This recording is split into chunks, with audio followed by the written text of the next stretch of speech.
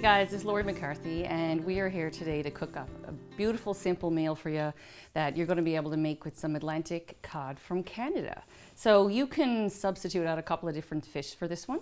Um, we're going to use cod, but you can use uh, haddock, you can use pollock, and you can also use really sole. So it's a you know general white fish um, soup and we're going to make it for probably a family of four or so. So got my pan heated up. I always start with a good glug of olive oil. Um, I use extra virgin just because I really like the flavor of it, but you don't want to cook extra virgin on a high temperature. So I'm gonna say like start off with like low to medium. And then this is onions and garlic and celery and carrots. Don't worry about the recipe. We've got it up on seafoodfromcanada.com. So you can uh, always refer back there to it for it. Here we go. And let's, I'm gonna crank that up a little bit and get that going. You'll want to saute that off for five minutes or so. And then we just have chicken stock. You can use vegetable stock. And I'm also going to use some, this is reduced white wine. You don't have to use this. You can easily um, substitute it out for another cup of your, uh, your vegetable broth or your chicken broth, whatever you want to use. Um, yeah, so once that's sauteed up for five minutes or so, we're going to start by putting in some other vegetables. Now, don't get caught up in what's in the recipe. You can really use anything that you got in the fridge. I mean, anything in terms of vegetables that you like.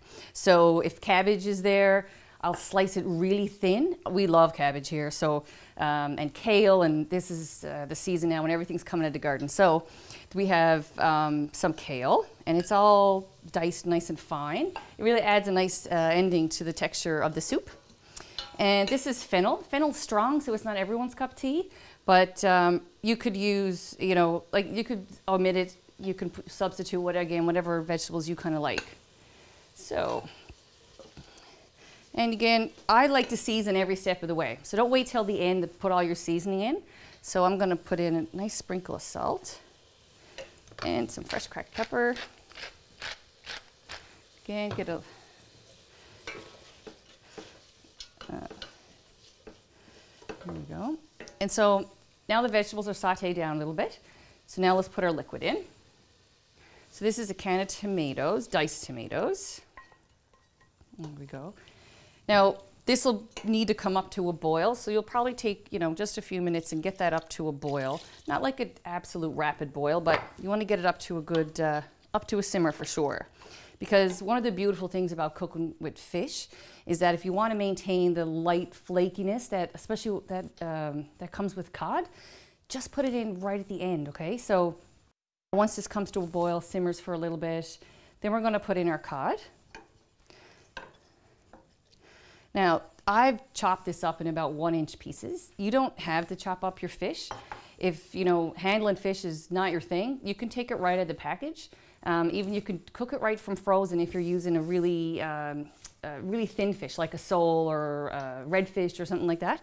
So you'll just take it and lay it right on the top frozen. And by that time you have your pot actually turned off and you're just a residual heat is going to cook the fish. Zucchini is also something that I wait right until the end with the, uh, I put in with the fish. It's a really delicate vegetable. You don't want to overcook it. Yellow zucchini, green zucchini. It all ends up being the, you're just looking for a nice, light, healthy meal here that's, uh, you know, that'll really appeal to, to everyone in the family and it's really quick to put together. All right, so you've finished your soup off. The last thing to go in was your fish and your zucchini. Bring it up to a simmer. Don't do the boil on the fish, right? Just bring it up to a nice simmer. And as soon as it comes to that, you'll turn off your heat, cover it, leave it 10 minutes, and uh, yeah, and you're good to go.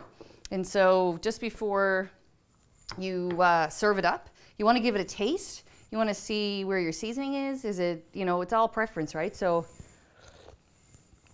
I'm happy with that. So let's get it plated up. And there's a couple of ways um, to get a nice, this is a beautiful fresh soup. Um, right at the end. Always fresh herbs on top. You could put a little bit of parmesan on it if you like. And a little hit of acid always has a really nice, uh, really nice flavor to it. And then that's it. And if you want to make it a complete meal, it's always nice to serve it up with some fresh bread, some fennel sprigs, and there you go. So for the full recipe, you can see it on seafoodfromcanada.com.